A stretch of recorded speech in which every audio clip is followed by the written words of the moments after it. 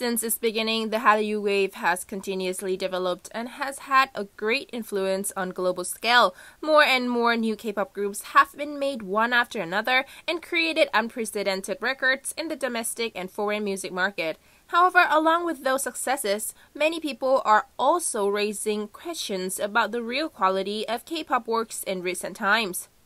Recently, there's a largely discussed topic on a Korean fan forum related to how disappointing songs these days are compared to before. According to the author's opinion, in the past, K-pop had a lot of songs worth listening to, but now it's really boring.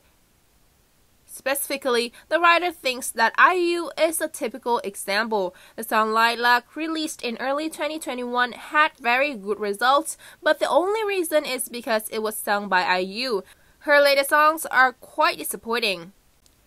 Besides, this article also mentions many prominent names in the current K-pop music industry who are typical representatives of K-pop third generation, such as BTS, Blackpink, Twice, Red Velvet, or Seventeen. The writer thinks that Dynamite, Butter, or Permission to Dance are all good songs, but the lyrics are in English. Blackpink is disappointing because it has been a long time since the group last released any new works. About Red Velvet and Twice, the writer says that their recent songs are of inferior quality to the past. All the songs are of average quality and have lost quite a lot of the group's inherent energy. Even second generation idols like Taeyeon or SHINee have also returned to the current K-pop race, but they still don't seem to bring the old feeling or outstanding breakthroughs. According to the post, 17, NCT or Mamamoo all have good achievements, but that's all. The songs of these idols are nothing compared to before.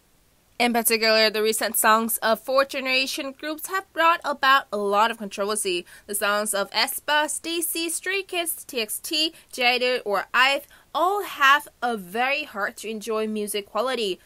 Or most recently, fans have been looking forward to the debut of JYP's newest girl group, NMIXX, but the song has received negative feedback because of the chaotic and disconnected feeling of the song. With the above opinions of the writer, netizens had different discussions. Most fans seem to agree with the above opinion that current K-pop songs cannot be as addictive as in the past. However, there's also another controversy that says that netizens are just admiring the past too much.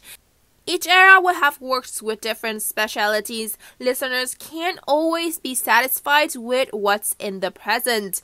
Perhaps with the power of time, these songs that were once considered difficult to listen to will become nostalgic to many people.